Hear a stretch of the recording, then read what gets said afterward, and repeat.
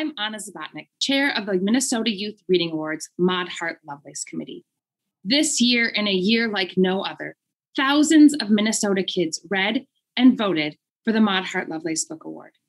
I'm excited to share with you today the winners of this year's awards. In Division 1 for grades 3 through 5.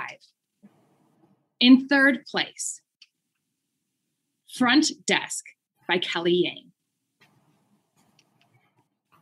In second place, New Kid, written and illustrated by Jerry Craft.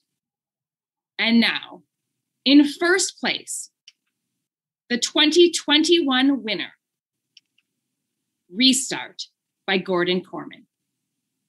Congratulations to all of our Division One winners.